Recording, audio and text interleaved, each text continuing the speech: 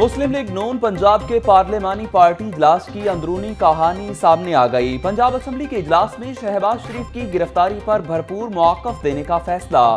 Assembly اراکین کو شہباز شریف کی گرفتاری بارے تقاریر کی ہدایات۔ اپوزیشن لیڈر حمزہ شہباز بولے، نیب نون لیگ سے سیاسی انتقام نہ لے، انصاف ہوتا نظر آنا چاہیے۔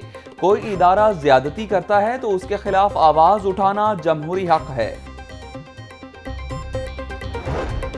کانسٹیبل کے امیدواروں کی بھرتی میں ہیرا پھیری، امتحانات لینے والے ٹیسٹنگ سروس پر مبینہ کرپشن کے سنگین الزامات۔ سی ٹی ایس کے عملے نے کانسٹیبل کی بھرتی کے لیے پرچے پیسے لے کر حل کرائے۔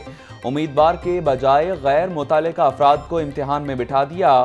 فی پرچہ پچاس ہزار سے دو لاکھ روپے تک وصولی۔ درجنوں جعلی امیدواروں اور سہولت کاروں کے خلاف مقدمات درج۔ ایف آئی آر کی کاپی لاہور نیوز پر۔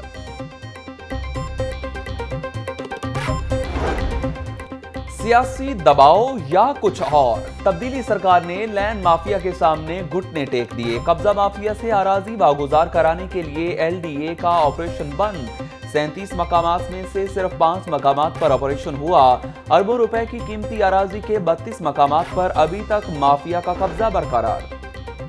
میانی صاحب اور میاں میر کے بعد اب ماڈل ٹاؤن قبرستان میں قبضہ مافیا کا خاتمہ۔ گرینڈ آپریشن کے دوران سولہ احاطے، گھر اور دو دکانیں مسمار کر دی گئیں۔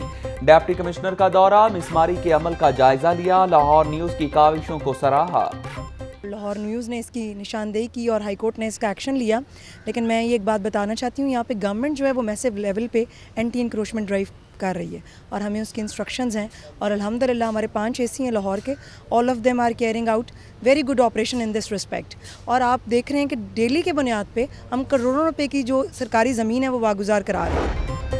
ماڈل ٹاؤن قبرستان میں احاطے بنانے اور قبضے کے خلاف کیس، ہائی کورٹ نے اسسٹنٹ کمشنر سے تائیس نومبر تک رپورٹ طلب کر لی۔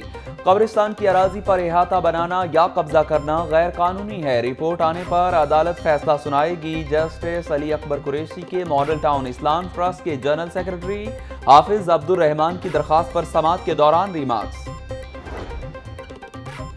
سرکاری عمارتوں میں آتے زدگی کے واقعات کی انکوائری کا معاملہ۔ انکوائری ٹریبیونل محمد اختر بھنگو کو چیف سیکرٹری کی مبہم رپورٹ موصول۔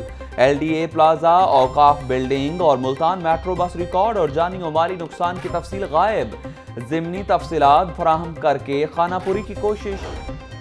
پی پی ایک سو اڑسٹھ میں ضمنی انتخاب کا دنگل۔ تحریک انصاف نے ملک اسد علی کھوکھر کو میدان میں اتار دیا۔ پارٹی کی جانب سے ٹکٹ جاری کر دیا گیا۔